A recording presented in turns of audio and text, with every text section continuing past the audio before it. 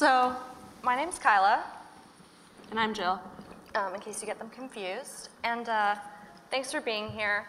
So, today we don't want to dig too much into anything technical or the gear we use. What we really want to show you and tell you is our story. We're not even going to show you really our best work, um, more of a complete picture of what we've been up to. So, um, in sharing that, we want to show you how we turn this unintentional personal project into our full time career of living and working on the road. So, as Iris said, we started our Wild Abandoned four years ago with very little expectation of what it would eventually become. We went from these two girls on a road trip to working as full time photographers. It was a dream that we truly never thought would be possible for us. We now work with numerous tourism and travel companies, as well as some of the largest tech companies in the world, including Google, LG, and Samsung. Our travels and our work have taken us across the country and back, and to parts of the world we honestly never thought we'd get to see.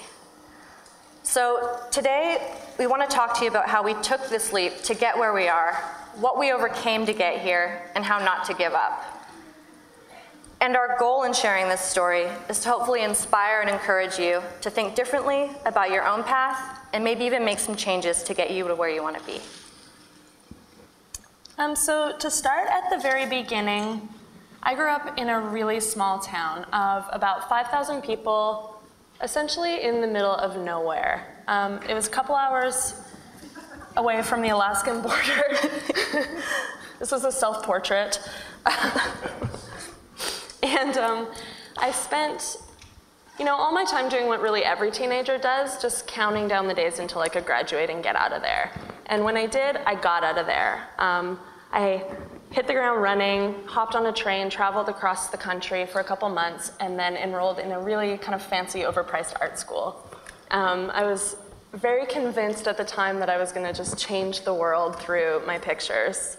I had always wanted to be a photographer, um, and I was kind of coming as a big fish from a small pond. Um, in the town that I grew up in, I had been, you know, praised for my creativity, and um, I really thought that I had a chance to make it out there in the real world.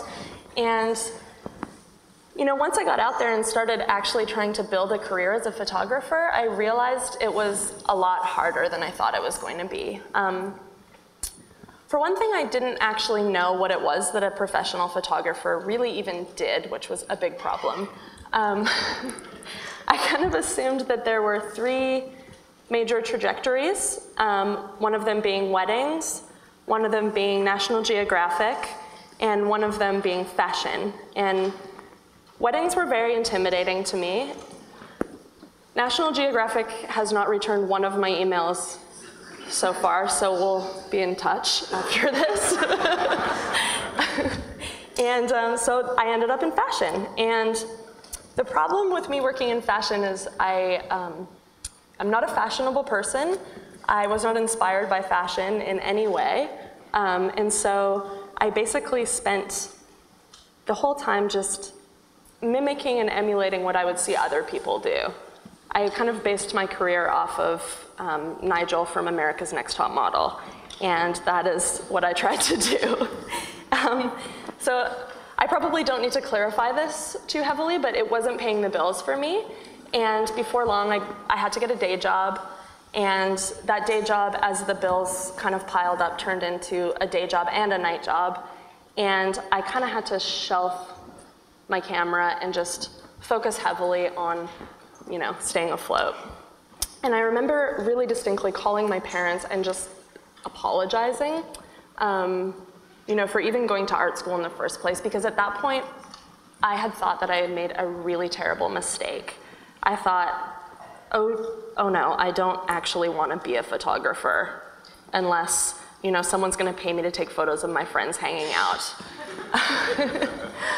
Um, I also came from a very small town in BC, and for me, at a very young age, I fell in love with the landscape of America and, and this whole country. And, you know, poring over these books and music and, and different movies, I was a pretty big Springsteen fan at a young age. Um, I kind of spent all this time idealizing what it would be like down here. But, you know, I didn't see a way, a way to get here, especially from where I was from. And then uh, one day when I was 17, my dad made this really small oversight that ended up changing my whole life. Um, he lent me his company gas card on my way to school, and I ended up leaving for two and a half months with it and heading as far south as Tijuana, as far east as Colorado, to the west coast and back home. And it was incredible. I saw all these things I'd been reading about and hearing about, and I could only eat at a Chevron, so it wasn't luxurious. I slept in my car, but I finally got to see all these places. And I came home and obviously had disappointed my family, and I thought, okay, that was fun, but I need to grow up, so I know, I'll go to school. And I actually decided to study art history and aviation.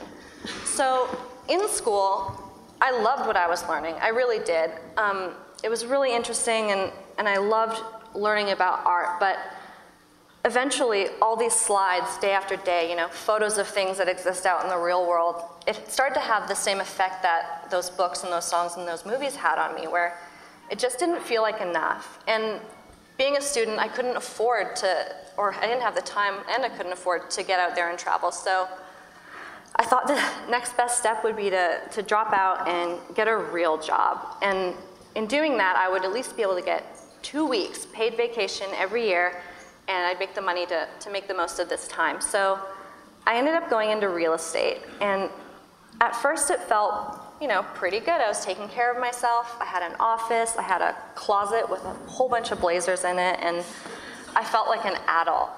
Um, and I, that was okay for a while, but eventually I realized that my creative side was not being utilized. I, I was actually working too much to get out there and actually travel and take advantage of these vacations I was supposed to get. So I wasn't sure where I was going to go with it, but I remember very distinctly having dinner with my dad and, and complaining on end about my job. And he said, Well, what do you want to do? And I was like, Well, I'm not really sure. He's like, Well, think about what you want to do and make that your job. And I remember saying to him, I just want to drive across the country with my friends. No one's going to pay me to do that. Um, so at this point, both Kyla and myself are living in Vancouver. We've kind of come to terms with the fact that maybe our lives are not going to amount to everything that we had hoped they would. Um, sort of resigned ourselves to that. We're feeling a little bit discouraged. And so we enter into really serious, long term relationships with two guys that happen to be best friends. And so that's how her and I would meet. And you might think that when we met, it was this, you know, magnetic experience where we were drawn to each other and we became instant best friends. Um, but that was not the case whatsoever. We were merely acquaintances, really, for about four years while we dated these guys. And I think that the reason behind that is because neither of us were doing anything in our lives that we were really proud of, and we felt no reason to talk about ourselves. So for four years, these conversations just kind of revolved around whatever exciting thing my boyfriend was doing or you know the cool new job he had just gotten and how excited I was for him. Um, and that went on, you know, for a long time until one day, out of nowhere, we both found ourselves single in the same week after four years of being in a relationship. Valentine's Day weekend, 2013. and, um, and so in that, I did what most people that are coming out of a long-term relationship do. I start grasping at people around me to figure out who's going to be on my side. and in that grasping, I got a hold of Kyla for the first time, really ever. Um, up until that point, I never even had her phone number. And so we hung out together. And at first, it was a little bit awkward because we had never had a conversation. Um, but you know, a bottle of wine kind of helped get the conversation going, and then four bottles of wine really, like, really got the conversation going. And all of this stuff came out about how we had really grown up in parallel kind of circumstances, and we had these exact same kind of hopes and dreams to travel the American road and to see all of these different things. And we both felt really strongly about all of the same things. And so, you know, a little bit drunk, we kind of came up with this plan like, what if we just leave? Let's get out of here. Let's leave our lives behind and like take off and never come back. And um, much like Thelma and Louise, of course. we didn't kill anybody though. Um, and and admittedly, this was a really, really dramatic response to a breakup. I, I do not behave that way anymore. Because um, no one will break up with me. Um, but you know, it was an important conversation, and then it just really got the, the wheels turning in our head.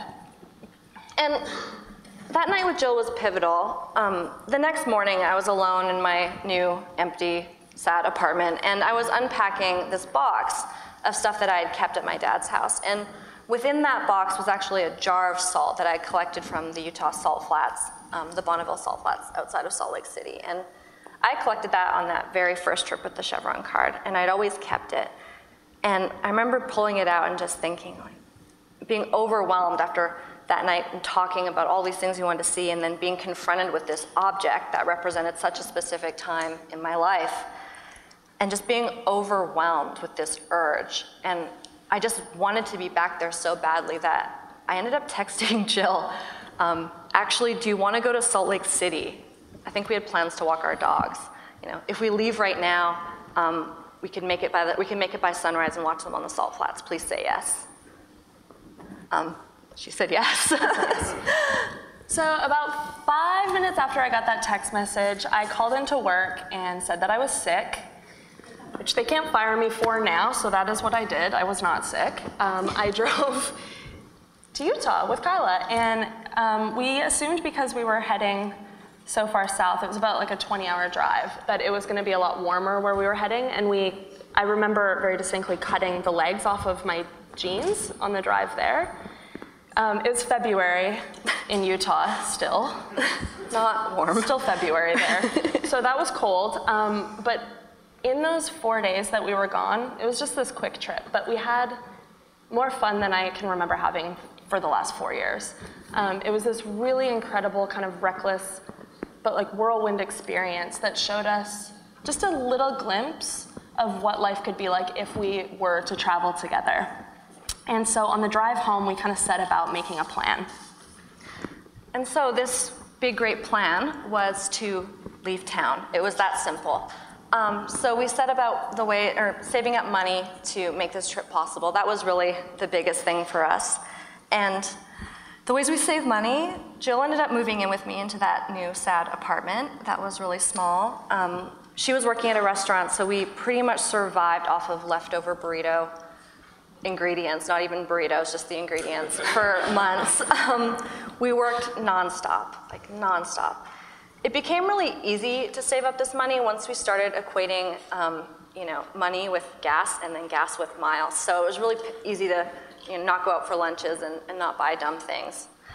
Um, and then we also decided that since we weren't going to, I was going to leave that place and I didn't want to have all my things anymore. And over the years, I, I collected all these objects and furniture and all this stuff. And the more I wanted to leave town, the more heavily those things weighed on me. I felt suffocated by them. So eventually I listed all of my belongings and all of Jill's on Craigslist. And I can't explain to you the lightness and relief I had as every one of those objects left the I door. can't explain to you that one day I came home and she had sold my bed before we left, and that was that did not make me feel light. it was like a month, a month or two before we actually got to go. Um, and then at that point, we started looking for a trailer, um, having something like a home on the road. And we ended up naming her Bobby Jean after the Bruce Springsteen song about his girlfriend that leaves home and doesn't come back.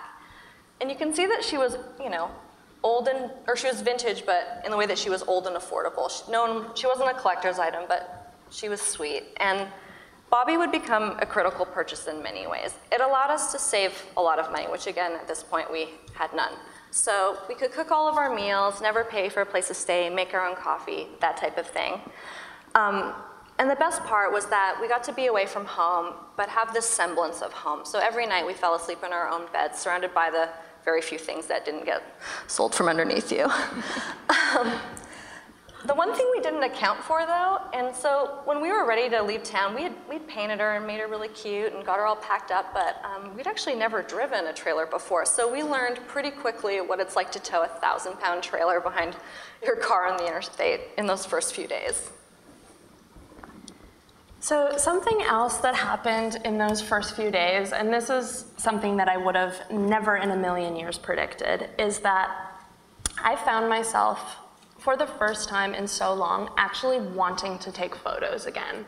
Um, right before we had left, I had come really close to selling my camera. I just didn't have any desire to use it. I wasn't happy taking photos. It seemed like a really unusable thing to bring.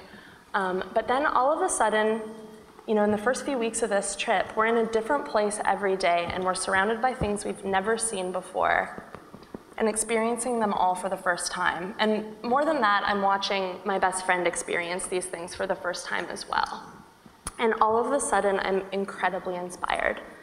And I think, you know, before that, I had always gone out when I was working in fashion and tried to kind of manufacture a moment or create some sort of feeling in my images. And, and now I didn't have to do that because these moments and these feelings were happening right in front of me.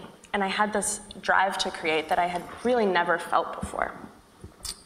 Um, and that drive really extended beyond myself and to Kyla as well. So all of a sudden, this little point and shoot that she had been carrying around really wasn't cutting it for her. She wanted to capture images that showed, you know, the things that she was seeing in a, in a real way. And so I started slowly teaching her how to use a DSLR. And that was important for me because it reminded me that all of these things that I had learned in school that I didn't care about were actually really, really important and they meant something and I couldn't forget them even if I wanted to. So for the first time ever in my life, I was excited to talk about these things like apertures and shutter speeds and whatnot because I saw how much it could empower a person and really bring the photos to life. Um, so then we're creating all of these images together, and, and both of us are really, you know, working on each one together as a, as a unit. And we're proud of the images that we're making, and we decided we want to start sharing them with people. So we came up with the idea to start a joint Instagram account and a joint blog and just kind of funnel all of this work into one place. And we called this collaboration Our Wild Abandon. Um, neither of us can remember where that name even came from at this point. It just seemed like kind of a fitting title for what was supposed to be a little project. Um,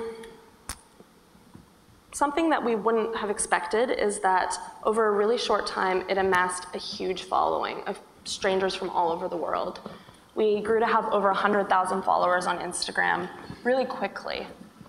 Um, this is the part in the talk where I would love to just give you the one secret to that so that you could all run out and do it too it's a lot more than one secret. It's, there's a lot of factors that kind of come into play there. Um, and tomorrow, if anyone is interested, we're giving a talk on the small stage at 10 a.m., and we're just going to go over kind of all of the intricacies of um, building a social media following and maintaining it and using it to build your business. But for right now, I will say that the most important thing that we were doing with the work that we were sharing is we were showing images of something that a lot of people had dreamed about, but we were showing it in a way that was seemed achievable. Um, unlike a lot of these other travel Instagrams that were really polished and had you know these beautiful supermodels in exotic locations, you had us in exotic locations, and um, and it was you know, they were raw and a little bit more real and natural. And I think people could relate to this and they could see themselves in our photos. Now, you're going to um, notice a pattern pretty quickly here that every time I get to speak, I have to tell you something terrible that happened to us.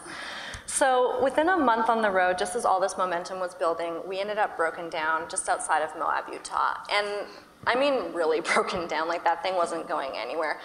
So much so that when we got a tow, they took us to a junkyard instead of a repair shop. um, so here we were on the side of the road waiting to get rescued. And we ended up in this junkyard, and the mechanic tells us there, he's like, You guys have a seized engine. You're not going to go anywhere. It's going to cost you thousands to repair it, and I don't know how much money you guys have. And at that point, we had about $50 more than the cost of the repair. So it wasn't enough to fix it and even get home, and it definitely wasn't enough to fix it and keep going.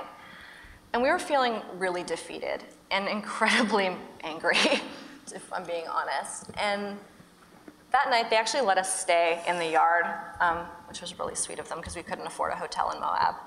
And I remember going to bed, and we weren't really sure what we were going to do. You know, we, we talked to our parents, and they had just suggested that we fly home and, and leave the car and the trailer and, and get on with it. But we didn't want to at that point. So that night, going to bed in my, in my side of the trailer, um, I was looking at my phone, and I realized that someone had commented, you know, on one of the images we had posted, can I get a print of this?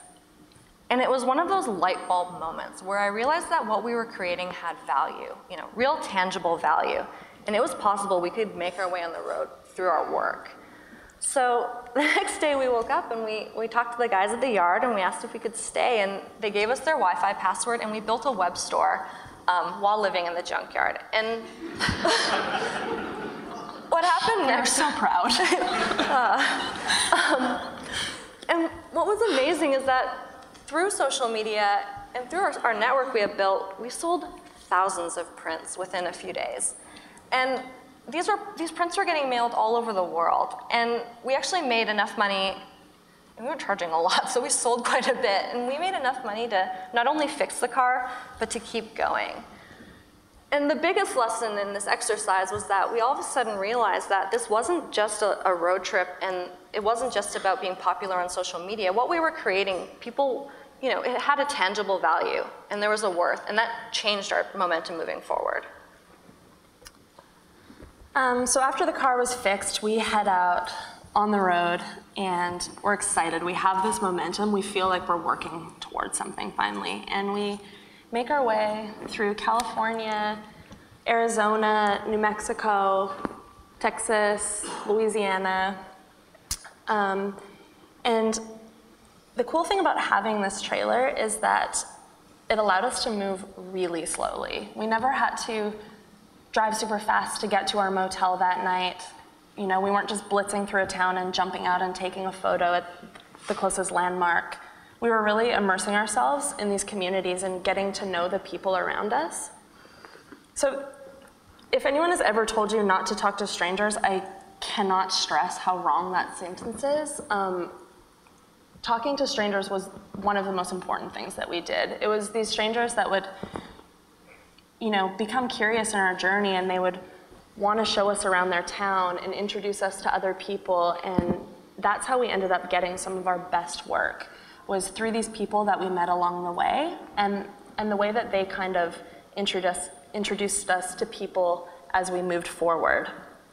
So we just kept going and going um, taking literally tens of thousands of photos and the whole time our circle of friends and our audience was kind of growing along the way and you know, this buildup of momentum and, and, moving across the country was so exciting. And, and we found ourselves, you know, five months in in Louisiana, and someone kind of asked us, they said, when are you going home? And we didn't even think about that at that point, but we had this realization that we were Canadians on a tourist visa. So we were only allowed 182 days. So no matter how many postcards we sold, there was you know, you can't argue with the government. So all of a sudden, we had to make this decision to turn around and go home, right in the midst of all these good things happening. So, you know, I, this is how I felt about it. Um, we had to make the drive home in about three weeks straight. So coming back to Vancouver was a very harsh, you know, dose of reality. We had been gone just long enough that we had kind of forgotten what our old lives were like. Um, but not quite long enough to really achieve anything.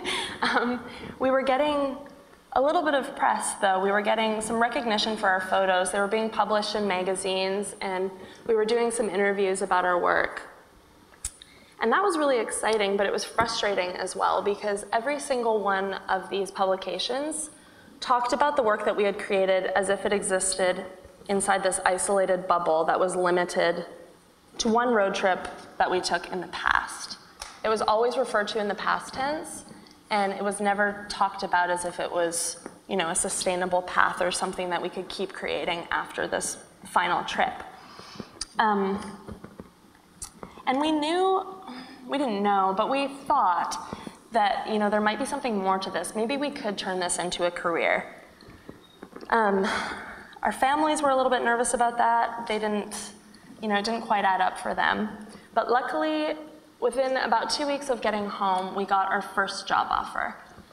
And this job offer was exciting because it was the first one. It was exciting because it was a job offer, which was something that we very desperately needed.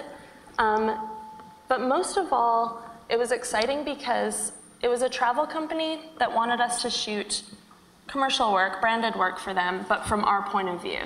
They said that they loved our personal work, they loved what we had created on this trip, and they wanted us to use our point of view and our voice to share their message. And that felt really good.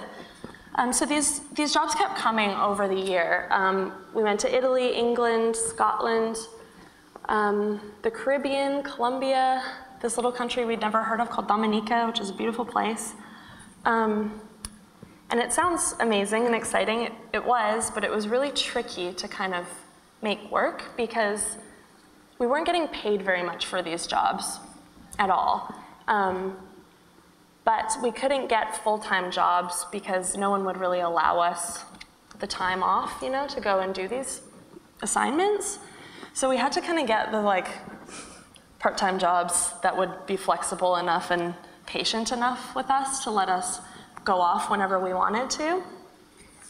And a lot of people just didn't really understand what it was that we were trying to do. Um, there was a big discrepancy between what you saw on the internet and our real life. Um, you know, on the internet, we were all over the place and traveling and jet set. And in my real life, I was working for minimum wage at this burrito restaurant. Um, and we were sharing a, a studio apartment, you know. Um, when we went to Italy, we left on a Friday morning and got back that Monday. So we were gone for 72 hours. And I went into work the next day on the Tuesday, dressed in every single thing that I had bought in the gift shop. So this chef's hat that said pizza all over it, and an apron with like the statue of David's bo- like naked body as an apron on my body. And I was so excited for everyone to ask me how my trip was. And they're like, what did you get up to this weekend? And I was like, oh, I got sent to Italy for work. And every single one of my coworkers just stared at me blankly, like, what, like you work at a burrito restaurant. What are you talking about? You know, I saw you on Friday. You didn't go to Italy. um, oh God. But she sure did. so here's Jill at Budgie's Burritos. There was some talk about whether we were going to be able to find this image or not, but so I guess we did It was find two it. iPhones ago. Uh, anyways, there was a lot of instances like that that were really just tough to kind of juggle, and they were tough for people to make sense of. Yeah, it was, you know, I was working, I like that one. Um, I was working as a personal assistant making smoothies every morning for an executive. Yet the next week, someone was sending me to Belize to be served these different meals and drinks. And it was just all so crazy. I, I lived in the studio with Jill and I slept behind a shower curtain in a hallway. And so the mix of these, of these two lives was so strange, but it was also really, really hard to juggle. And there was a point where we had to work so much and we really couldn't sustain it in a healthy way. And I was just getting really worried and we almost gave up. Um, but we thought this isn't fair because during all of this, we were getting real job offers from American companies. So they wanted us to come back down and, and recreate content for them, or not recreate, make new content for them based off of what we had done on the road. So really stay true to our point of view that we found and, and create work for them. But we legally couldn't take them because we are, we are from Canada, and we knew that. Um, so at this point, we get into the immigration process. Um, and the first time the lawyer explained what it took to apply for an artist visa, I think we both cried. Um, it was terrifying. And it was hard enough to convince our parents what we were doing was a legitimate job, but we were now tasked with explaining it to the Department of Homeland Security. So it was, it was a lot. And I'm not going to get too much into it, but at its core, it's about a dozen or so letters from experts in your field. And at that point, I don't think I, I knew an expert. Um, you know, we were kind of grasping at straws. Who, who do we know? Who do we know? And then it, it came to us that we had found this incredible community of people on the road, you know, through our travels on the road or through social media, people that, you know, came from all different backgrounds and all different levels of success, and they were more than willing to help us. So it took a long time, but we were able to finally apply. And then once we applied, it took forever and longer than it was supposed to. So we would kind of come to terms with the fact that it wasn't going to happen. And a lot of our dream relied on, on this visa, being able to come back down. And so to not get it would be a huge blow professionally, but also personally, because it would affect our ability to come back down, especially with a camera in our bag, you know, ever again. Um, but I get to give some good news this time. We did get our visas, and that was a huge turning point for us. We were able to pretty much pack up and head south right away.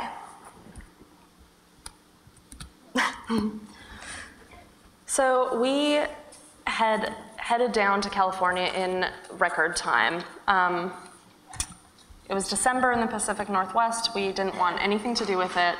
We got down there and spent this one beautiful, perfect night camped by the Salton Sea. And I don't know if you're familiar with the Salton Sea, but it's this incredibly kind of desolate and vast landscape that really suited us in that moment so well because we had this kind of us against the world feeling and we felt really excited about, you know, what the next few years were going to look like for us. And we had this perfect night. It's honestly one of the best nights of my life because we were really charged up and feeling, you know, super optimistic and electric. And we took thousands of photos that night and just stayed up until five in the morning or something. And I remember when I fell asleep that night, just kind of planning out what the next five years of my life were going to look like and how I was going to get to all these places that I've always wanted to be, and I was going to take all of these photos that I had imagined. Um, I don't know if you have ever heard that saying, if you want to make God laugh, you can tell him your five year plan. that was the funniest joke he had ever heard in his life. Um. so, this is actually from the very next day. This is um, Bobby Jean in front of the Salvation Mountain sign that reads, God never fails. And this is the last photo we have of Bobby Jean. Um, within an hour of this photo, um, we were in a, in a rollover accident.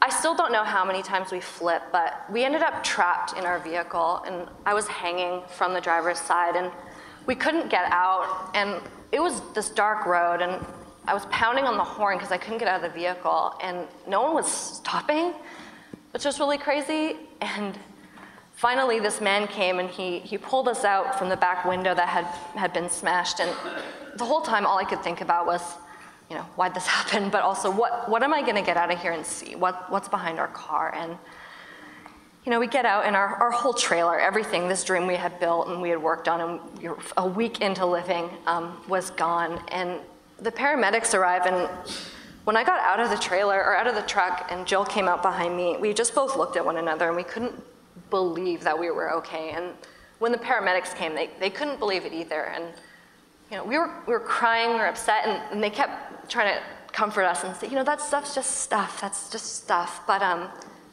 that had really been our dream at that point, and there it was on the side of the road. And it honestly felt like a house fire more than a car accident. Um, so this was, you know, obviously terrible for us. And at that point, I didn't really understand it. I kind of said, like, is, is this the end for us? Is this, was this a sign? Do we need to stop? Are we going to go home? You know, where do we go from here? I miss um, her. and realistically, that would have been a really good time for us to quit. Um, we didn't have a lot of money, and you know, we had these visas, but we didn't really know if we were going to be able to make money with them. Um, and so now literally every single thing that we owned was looked like that. It was destroyed. And so, you know, there was a check coming from the insurance company. We had two plane tickets booked home. Um, and if we had wanted to, that would have been, you know, the time to say, okay, we tried our best. Like, we did the best that we could do. This wasn't our fault. This was a freak accident. And you know, what more can we do? Like, that's it. Um, but we kind of sat on it for a couple days and we came to each other after thinking and, you know, both of us agreed. We were like, this is not going to be the way that this ends for us. Like, we have tried for the last two years to make this a reality and it's so close right now. Like, I can't, I can't let it go like that. Um, so the first thing that we did was, you know, kind of dust ourselves off and and get back out there and um, and we bought a brand new trailer. Well, I mean, it's not brand new; it's about 50 years old, but it's um, New to us. it was brand new to us, and we focused all of the energy and frustration that we had from this accident into absolutely gutting this thing. Um, tore out everything in there and rebuilt it all anew.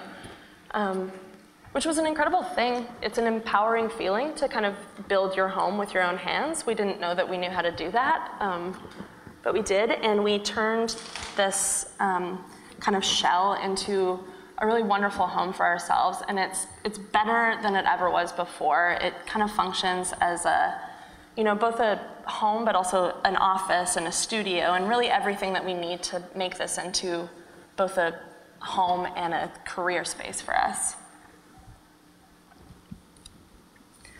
Um, so once the trailer was ready, we hit the road again, and, and for the first time, it kind of felt more like we were running towards something than running away from it.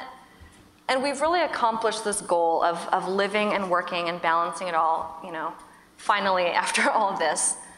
We've been on the road now for, I guess, over a year, and in that time, we've driven across the entire country. We're missing, I think, West Virginia, Nebraska, and Oklahoma. We did Alaska and Hawaii. Um, we've been able to sign with a photo agency here in New York called Tinker Street. And we spend a lot, you know, all of our time just balancing, creating personal work still, always from the road, and documenting our lives, but also shooting commercial work with social media and removed from social media. In this last year, we've been able to work with um, Google, Samsung, Nature Valley, Kia, and we do a lot of tourism work. So tourism boards from um, Hawaii to New Orleans. So this whole process has really taught me, or taught us, mostly me, just kidding, taught us both so much about friendship, collaboration, gratitude for still being alive, and how resilient we can be when we work together as a team. Now, working together like this works for us. I know that might not be the case for everyone, um, but we can't stress enough that you, you can't underestimate the power of collaboration. We, we wouldn't be here if it weren't for you know, working with other people and getting feedback and, and asking for help and, and reaching out to our community. Um, I definitely never thought I'd be here on the stage giving life advice when I quit my job. Um, so I really can't stress enough, you know, to trust others and, and trust yourself and, and work together. I literally did not know that the career that we have right now was a job that existed. Um, I had no idea. So when I was talking to my parents saying, well, I wish someone would pay me to take photos of my friends hanging out, or Kyla, you know, told her dad that she wanted to get paid to drive across the country. Um, we had no idea how possible that really was. I mean, it's a lot more than that, but at its core, that is what we get to do. Um, I think for so long I was trying to kind of wedge out this space for myself in the world of photography, and I would do that by emulating what I would see other people do, um, not as well as they would do it. And something that never occurred to me was that, you know, if I'm just making bad representations of other people's work, why on earth would anyone hire me? Why wouldn't they just hire the person who's doing it well? Um, and it wasn't until I started you know, shooting what I actually loved and stopped caring about making work, that I really found my own voice. Um, authenticity is the most important thing in this world. I, you can't mimic other people and then expect to have the same results as them. Um, if you go out seeking inspiration, you're never going to find it. Just shoot what is inspiring to you. And if you make work that you believe in, other people are going to believe in it as well. It's it's incredibly hard, but it's important to know that there's a value in what you're creating and what you see in your point of view, even if you haven't made a cent off of it yet.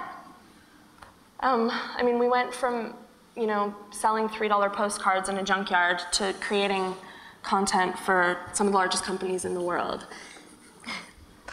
Um, now, I know our dream might not be the same as yours. In fact, this might be a living hell for some of you. It is for me, actually. she loves it. Um, but there are things that will remain the same here, and that is that time will keep passing and the circumstances will never be perfect for you to pursue something. You know, if we had waited for the exact right time, you'd still be at the burrito shop and Yeah, still be making smoothies. left. You can you can attach that logic to anything in your career. So whether it's an adventure that you've been putting off or maybe a personal project that you haven't been working on as much as you want to be. Um, or even as something as simple as just like feeling comfortable enough to share your work with other people. Um, I know for a lot of people that can be kind of the hardest part. Um, and we know there's never going to be that right time to feel ready, so that's why we often refer to what we did as a leap. Um, you kind of just need to jump before you know where, where you're going to land. Um, hopefully, it's not in a junkyard. But at the same time, in between that jumping and the landing is going to be a lot of hard work. Um, nothing easy or nothing good comes without effort, and no one is just going to waltz into your living room one day and make all of these dreams you have come true. Um, so you need to get yourself out there, keep your goals in mind, and, and don't take your eyes off of them. And really, if we have any solid advice to share, it's start now, working on it in whatever way you can, um, and throw yourself wholeheartedly, commit to it, and just whatever happens, because things are really going to happen, um, just don't give up on it. That's it. Thank you. Pretty good job.